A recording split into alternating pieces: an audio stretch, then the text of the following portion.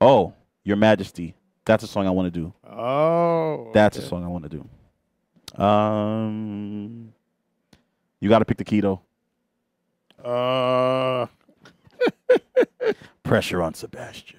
pressure. I'm like, I don't know why I get all this pressure, man. Why, Pressure. why all this pressure on me? Um, Pressure. I'm gonna pick an easy key this time. Nah, don't pick an easy key. Aw, man. Challenge me, man. Okay, let's take it all the way to A. All right.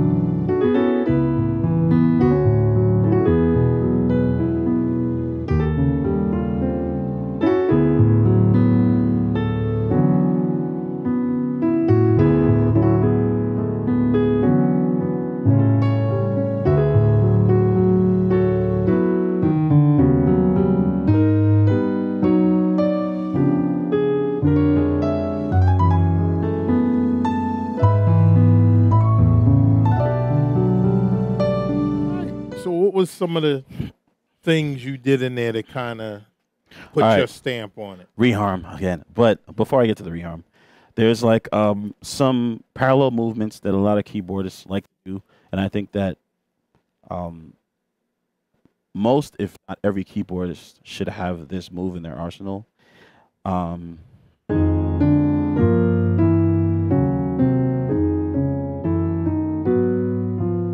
like these parallel kind of octave Yeah, movements Yeah. that are within the chords.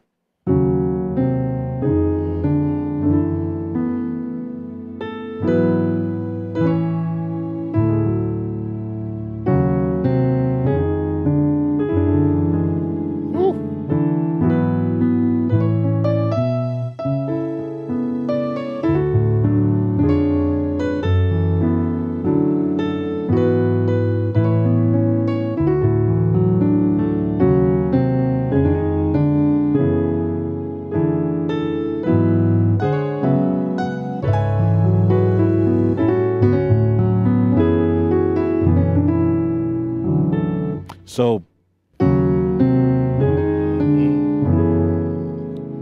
So even after those parallel octave moves, there was a chord that I went to that wasn't exactly the regular minor, like G flat minor chord that most people go to. So, right. So I guess you could say that this would be. I guess you could say instead of me playing like a regular G flat minor chord, you could say I'm playing a D on top of the G flat, the, the G minor, uh, the sorry, the G flat, right? I'm playing this D on top of it. Mm-hmm. But instead of me using the F sharp as the the, the, the top note, I'll just use the A flat. Right, so so uh,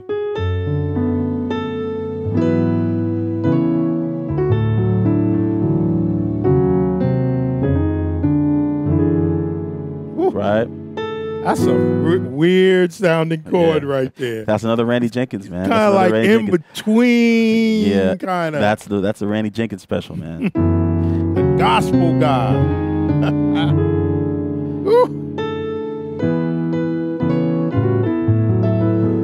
So that's, I mean, that's one of those like special chords you can just employ, not ad infinitum or every single place that you want, but Mhm. just you know sporadically, Yeah, sparingly. just drop it in. you know, drop it in every now and then, not every single time you play a chord, right? Because I know when I first played it, I was overdoing it, and and that's another thing. Like, I think as keyboardists, we have to be self-aware, yeah. right? Because there can be times where we can overplay. Mhm. I'm not going to hold you. There's been times where I've overplayed. That's just that's just what it it's. It's part of the process. it's part of, the process Yeah. of learning. It's part of the process of trying your best to like not overdo it and to be as tasteful as you can. Um, or to probably, I guess you could say, sound like a record every time you play, Yeah. Right. Yeah. or at least approach it that way, or whatever. So like, Mhm. I know I overplayed in that first. I know I overplayed. I felt it. I felt that I did. You know, and I mean, there are some that may not agree, but I felt personally that I overplayed. Yeah.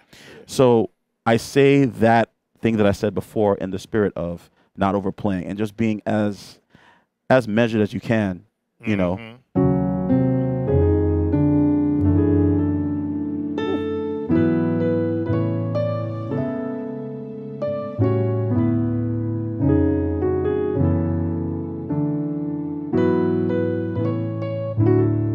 So the thing is, you can always change the complexion of your chords because it's a, it's a ballad. Mhm. You can always change it, but I mean, not to the point where it like confuses the listener. But if you do something like this,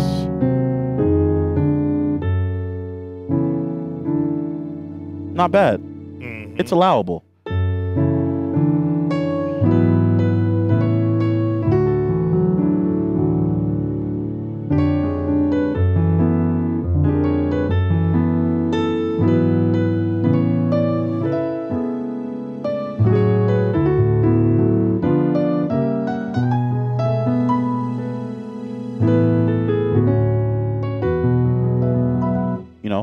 So it's it's it's not a, it's not necessarily about um how many great things you can play in that moment but Mhm. about how you can slip them in and then you know Yeah. Yeah. Yeah. Subtleties. subtleties